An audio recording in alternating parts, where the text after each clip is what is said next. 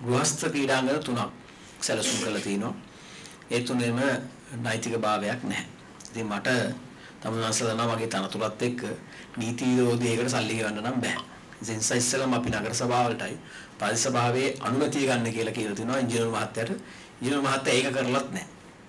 තාම අදටත් කරලා නැහැ. ඒතකොට අපිට සල්ලි ගෙවන්න බෑනේ නීත්‍යානුකූල නොවන ගොඩනැගිල්ලකට පළවෙනි දේ. දෙවෙනි එක මිලියන 245ක් වේ ලක්ෂ 2400ක් වැය කරනවා ඉන්ටර්නෙට් තුනකට. දමුල්ල ඔයගොල්ලෝ දන්නවනේ මාස 10 මාරක් 11ක් වහින්නෙත් නැහැ ඉන්ඩෝ එකක් අවශ්‍යද කියලා. ඒක ලයිට් හයි කරලා ලයිට් රිපෙයාර් කරන්න යන්නේ මිලියන 15ක් විස්ස. ලයිට් දාලා ඉක්මන් කරලා ග්‍රවුන්ඩ් එකේ මැච් ගහන එක සුදු සුදු ඉක්මන් කරලා ඉන්ඩෝ එකක් දී කියලා තීන්දුව. ඉතින් මේ පාලක මණ්ඩලය හිතන්නේ වෙන විදිහකට.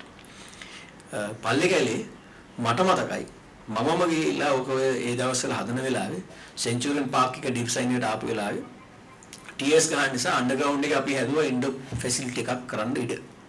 ඒක එහෙම තියෙද්දි තව ලක්ෂ 700ක් වියදම් කළා. මිලියන 70ක් දීලා කාර් පාක් එකේ ඉන්ඩෝ එකක් ගහන්න හදනවා. ඉතින් මේක සාධාරණීකරණය කරන්න එපා අපි.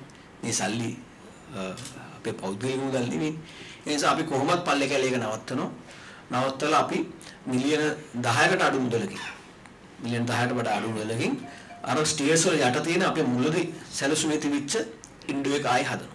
ඉතින් ඒක මට අපේ කමිටුවටත් හදන්නේ සල්ලි ඉතුරු කරන්න අත්‍යවශ්‍ය තැනට ආයෝජනය කරන්න ඒකෙන් අපේ කාර්යක්ෂමතාව වැඩි කරගන්න. ඒ නිසා ඒක නීති අනුකූල වෙන කරන්න බෑ.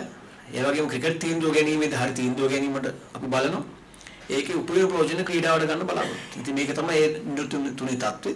අපි මොනවා වුණත් ප්‍රේමදාසගේ ස්විමින් pool එක ඉවර කරනවා. ස්විමින් pool එක ඉවර කරනවා. ඕගොල්ලෝ දැන් එතන කාපාක් ස්ලොට් 60ක් නැති වෙනවා. ඉතින් කාපාක් ස්ලොට් 60ක් නැති වුණොත් එම් ප්‍රේමදාසගේ හදිසි අවස්ථාව. ගින්නක් ගත්තොත්. හදිසි මොන ප්‍රශ්නයක් වුණා ෆයිව් විකට් එකක් එන්නේ. ඒ අවසර එකක්වත් නැතුව තමයි මේක හදලා. ඉතින් එතන නගර සභාවේ තියෙන ගැටලුවක්.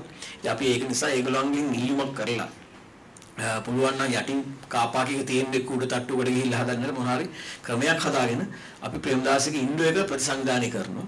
පූල් එක එහෙම හදනවා. ඉතින් මේක තාක්ෂණ ප්‍රශ්නයක් වගේම ආයෝජන ප්‍රශ්නයක් වගේම ආරක්ෂා ප්‍රශ්නයක් වගේම අපිට තීන්දුවේ ගැටලුකුත් තියෙනවා. ඉතින් අපි ඒක ඕකේ ඉස්සෙල්ලාම හයි පර්ෆෝමන්ස් ට්‍රේනින් සෙන්ටර් එක පටන් ගත්තේ 98 අපි එහෙම හිතුවේ. ඒ සතා මැක්ස් එකේ එකනේ උතන්ට ගෙනාවේ මැක්ස් ඇකඩමි ගෙනාවේ 98 සෝනි මැක්ස් එග්‍රීමන්ට් එකත් එක්ක ඒක අත්සන් කරෙත් මමයි. මම මම හොඳට බලන්නවා ප්‍රේමදාස ක්‍රීඩාංගන අපේ සෙන්ටර් එක. ඒකෙන් අපි බැහැර වෙන්නේ හැබැයි ඒක කියලා අපි අධ්‍යයනයකින් තොර ව්‍යාපෘති කරන්න බලාපොරොත්තුවක් නැහැ.